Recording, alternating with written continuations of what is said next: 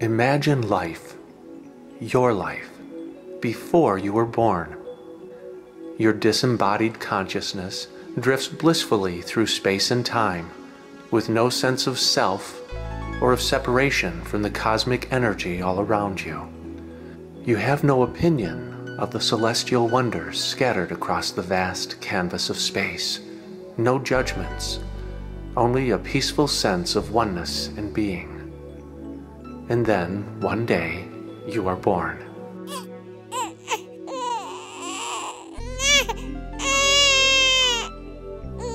And from this moment on, you begin sensing and judging your environment, developing thoughts, feelings, and opinions about your world, and feeling separated from all other forms of energy. It's as if your consciousness has suddenly been encased in a glass box, isolating you from other entities and forms of consciousness. You then make up little stories about each experience or observation and paste mental images of these stories on the inside of your glass box so you won't forget what you discovered. This process is much like putting photos and reminder notes on a bulletin board or refrigerator. At first, the stories you post are very simple, such as being hungry is bad, being fed is good, being alone is bad, being held is good, being held and fed is even better. Being held, fed, rocked, and sung to is better still. And so it continues as the stories become more and more complex. The more stories you post on your wall, the easier it is to judge new experiences and discoveries, as you now have something to compare them to. Things are now quickly judged as being good or bad, right or wrong, and so on, based on comparisons to what is already on your wall. And thus, the ability to make entirely objective observations is slowly replaced with limited subjective comparisons to the tiny library of stories inside of your glass box. As you move through childhood, you begin including not only your own judgments and observations, but the judgments of others as well those of your parents, your teachers and coaches, your friends, even the bully across the street has a say in the stories and images you post on your wall. As children, we still have many portals for gazing past our self made images and limited points of view, beyond our tiny glass box, and out into the mysterious universe, allowing us, at least from time to time, to break away from our self made world and experience the cosmos as it truly is. But as teenagers, we are already running out of open space to post these mental images. We have made subjective judgments about different kinds of people, about ourselves, who we are, and how we fit into the world, even about our personal value and worth, and pasted them on our walls. Now, the world inside our glass box seems more real to us than the world beyond and so we succumb to it entirely. The illusion, which we call reality, is now complete. In a sense, our reality has also become our prison, for we can no longer see beyond it. And since this minuscule world is now all we know, we desperately cling to it and to the sense of security it provides, as well as to the self imposed limitations. These people are good, those are bad. These are things I can do, those are things I can't, and so on. No longer looking beyond our box at any other reality, we eventually forget that other realities exist or ever did. From this point forward, most of us simply go about our lives covering older images with newer but similar ones those that reinforce the images and stories we already have, adding further still to our imagined sense of security and our certainty in the reality we've created, in a never ending quest to give meaning to absolutely everything. Although an infinite number of other possible scenarios exist for every image and story we've embraced or created, we usually see only what is right in front of us on the walls of our glass box. We've stopped looking beyond our box, so we cannot see other realities or possibilities, nor do we realize that we're the ones who created the reality we do see. And few of us are aware of what is happening. We believe we're still looking outside the box at the real world, exactly the way it really is, instead of staring at a finite collage of opinions, judgments, interpretations, and stories. Most of us are profoundly unaware that true reality is little more than the potential that exists before our minds label something with meaning. Before we decide if a thing or experience is good or bad, beautiful or ugly, a problem or an opportunity. It is the uncarved block of pure potential, referred to in Taoism, that exists in all things before they are exposed to perception, before they are compared or weighed and measured, before we decide what they mean. Reality is an empty canvas awaiting the artist's brush. And we are the artists we have the awesome power to transform reality into nearly anything we choose love or hate, good or evil, possibilities or limitations. The power we have over our lives is beyond our imagining. If only we knew, if only we could see. The irony of this vast power is that we've been using it all along without even knowing and as such, we've blindly painted ourselves into a single miniature world instead of a thousand ever expanding possibilities.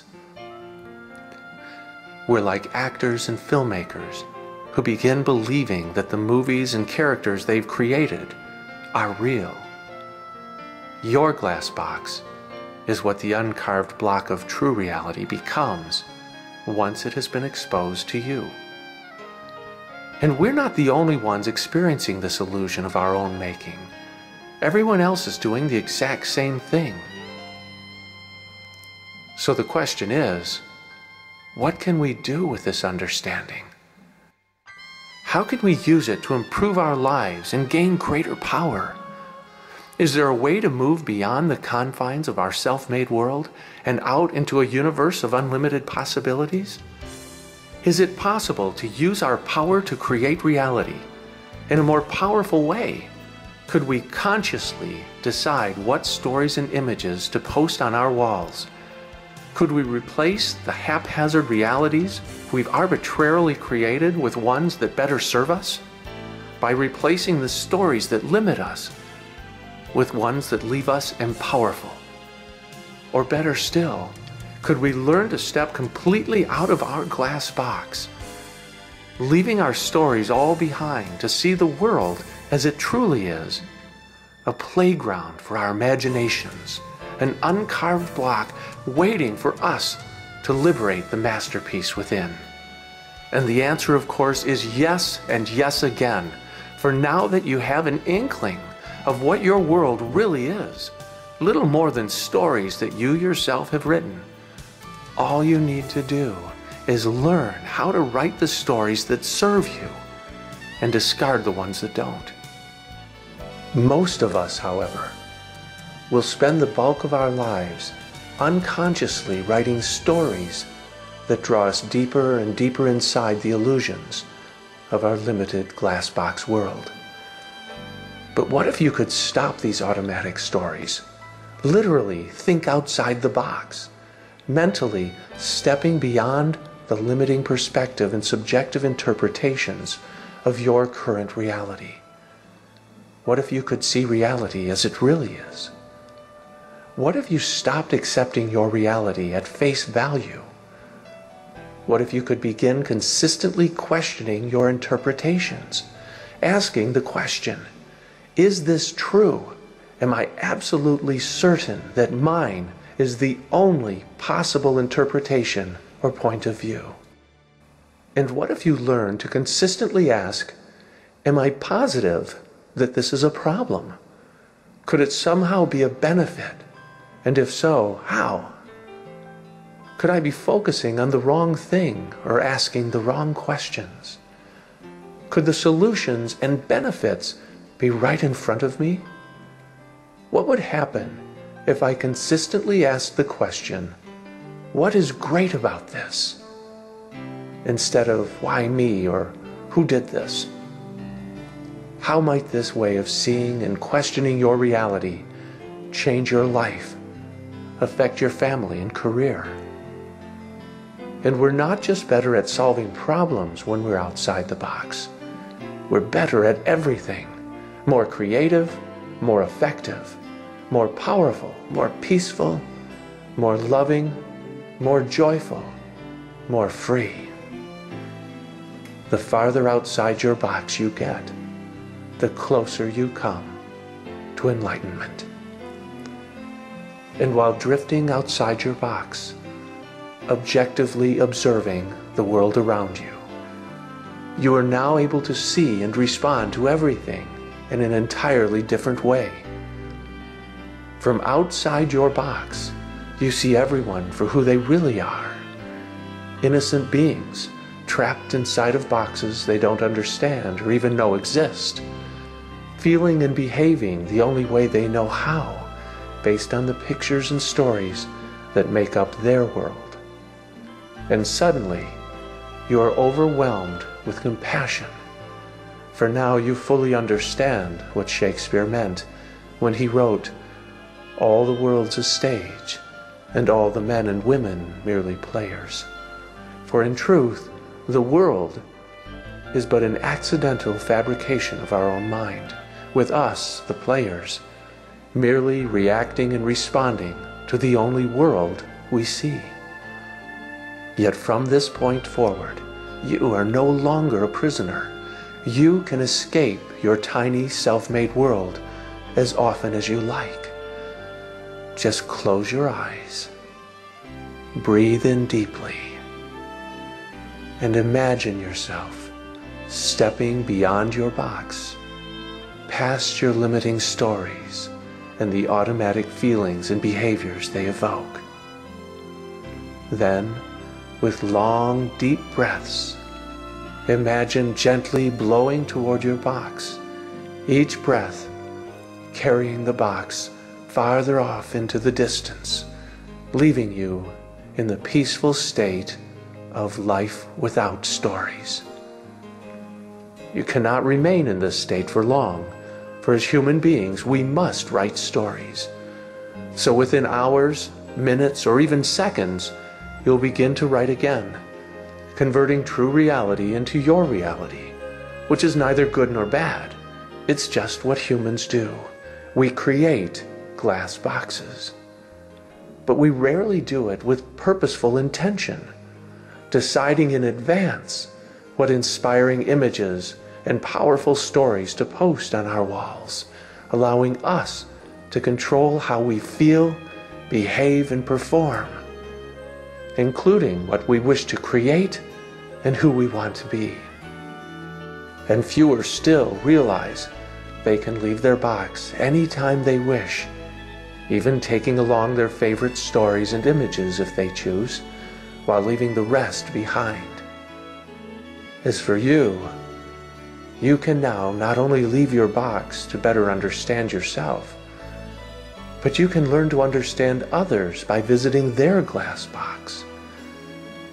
When someone describes their thoughts, feelings, and beliefs to you, they're inviting you inside of their glass box so you can better understand what they see on their walls, how they feel, and why they do the things they do. This is a great honor and an opportunity, for it will help you to be more understanding, compassionate, and supportive of them, and possibly even show you how to help them climb out of their limiting box as well. Either way, one thing is for certain.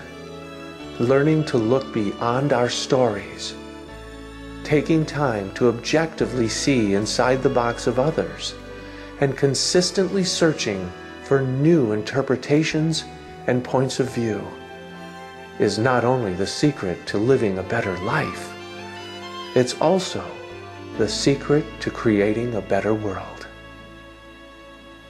I'm Mark Fournier, and this is the Glass Box.